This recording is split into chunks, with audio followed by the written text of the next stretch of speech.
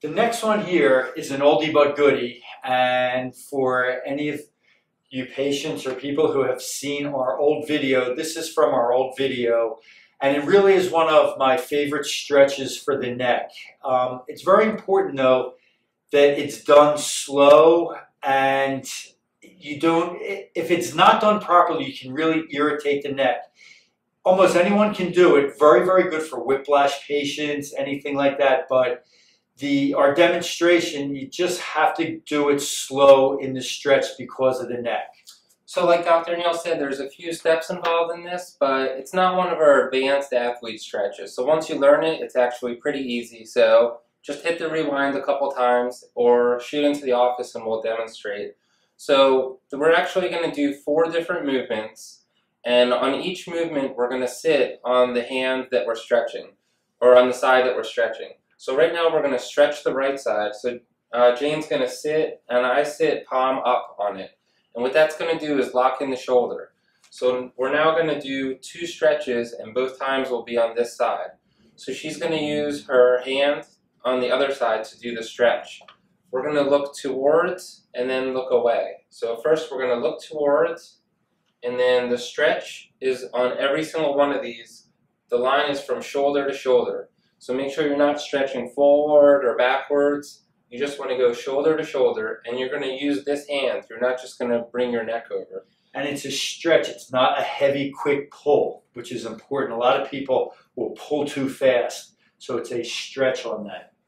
So using this hand, she's just going to pull right there, and right there I can actually feel we're starting to hit right in the back of the trap area.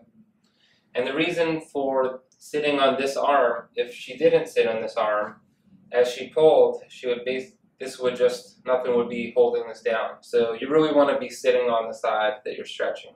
So you're going to sit, again, turn towards, use this arm, and the line is straight, shoulder to shoulder. We're not going down or back. So first, look towards, stretch, and then you're going to look away.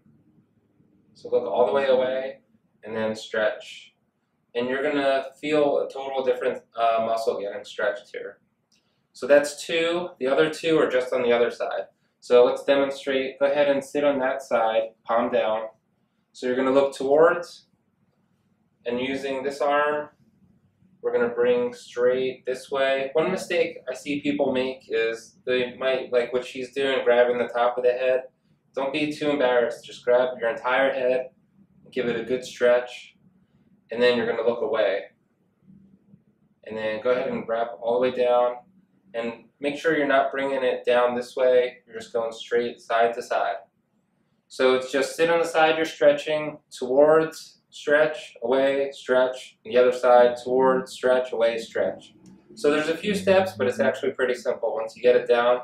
And it's a lot more effective than uh, a lot of uh, offices will recommend something like just pulling like this. And as you can see, my arm's coming up and I'm only Yeah, sort of stretching. That, that lock-in is important. And the turning your head towards and away, it's going to really isolate the trap versus The SCM musculature.